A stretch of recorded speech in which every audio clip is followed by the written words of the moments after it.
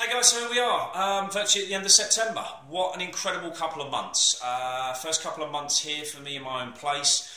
Couldn't really have gone any better if I'd asked for it, so thank you for all the support, um, all the good wishes. Um, congratulations to all of those that have made a start this month. Um, met some incredible people that have started on their own personal health and fitness journey.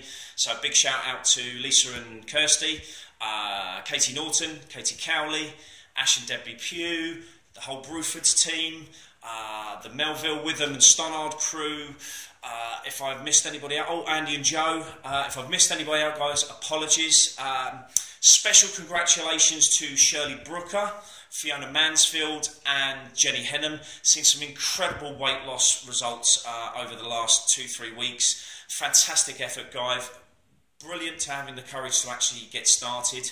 Uh, and I guess that's the main message whatever you're looking to do, guys, just get going. Uh, it doesn't matter in what capacity, whether it's a walk around the block, your first gym class, going to the gym, working with a trainer, whatever it is, get started, get moving, have the courage to take that first step. It's the hardest one.